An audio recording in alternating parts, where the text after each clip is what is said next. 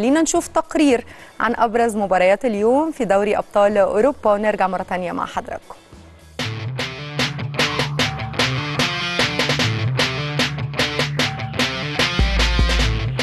يسدل الستار مساء اليوم الخميس على منافسات الجولة الأولى من الدور الأول لبطولة دوري أبطال أوروبا في نسختها الجديدة. والتي تشهد العديد من المواجهات القوية. لعل أبرزها مواجهة برشلونة وموناكو وأتلتيكو مدريد ولايبتسيش في لقاءات تحمل الكثير في المسابقة الأوروبية. يستهل فريق برشلونة مشواره القاري بمواجهة فريق موناكو الفرنسي حيث يتطلع الفريق الإسباني لتدشين انطلاقة قوية تحت قيادة مدربه الألماني هانز فليك على غرار الدوري الإسباني.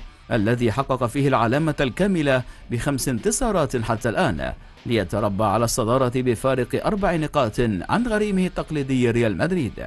يأمل فريق برشلونة في الظهور بشكل قوي في منافسات دوري الأبطال بنسخته الجديدة والتي يسعى من خلالها لاستعادة لقب الكأس ذات الأذنين الذي غاب عنه منذ تسعة أعوام وتسنل ضيفا ثقيلا على منافسه أتلانتا الإيطالي.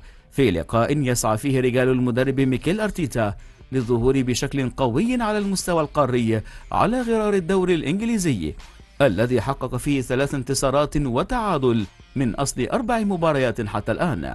يدخل فريق أتلانتا اللقاء وعينه على تحقيق انطلاقة قوية هو الآخر خصوصا وأنه يلعب على أرضه وأمام جماهيره. فضلا عن أنه يأمل في تقديم مستوى مميز على غرار الموسم الماضي الذي شهد تتويجه بلقب الدوري الأوروبي لتكون أول بطولة قارية في تاريخ الفريق الإيطالي.